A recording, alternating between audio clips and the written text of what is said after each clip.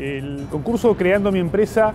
eh, surge como una iniciativa de la Secretaría General de Ciencia y Tecnología de la Universidad Nacional del Sur. Cuenta con el apoyo del Polo Tecnológico Bahía Blanca y, en síntesis, es un concurso que estimula el emprendedorismo entre los estudiantes de la UNS. Nosotros presentamos eh, un proyecto titulado eh, Sistema de Monitoreo de Parámetros Agrícolas eh, nosotros me refiero al grupo Innovar, somos un grupo de, estudiantes y un docente de la UNS eh, que se formó a raíz de la participación en el año 2013 del concurso 24 horas de innovación, el cual obtuvimos el primer premio internacional por el mismo proyecto. Eh, y bueno, en el Creando mi empresa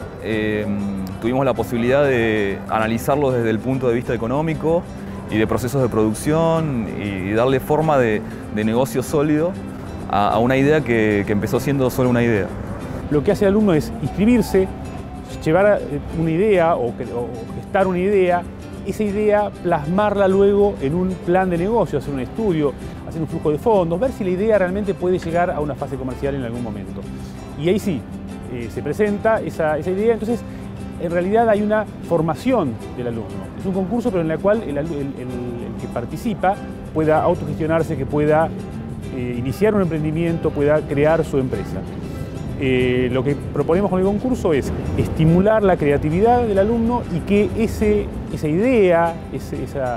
eh, nuevo, esa innovación que quiere crear, la pueda llevar adelante en un negocio. Entonces es, por un lado, estimular ideas creativas, por otro lado, plasmar eso en un plan de negocios, en una idea de algo comercial que pueda llevarse a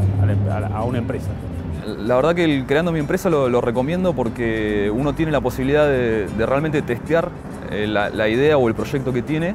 testearlo desde el punto de vista económico este, y, darse cuenta si de verdad sirve, dónde están los puntos débiles, las fallas y las cosas a mejorar. Este, así que mm, a nosotros nos benefició desde ese punto, es, armar un, un, plan de negocios que después nos sirvió para seguir desarrollándolo y presentándonos en distintos lugares.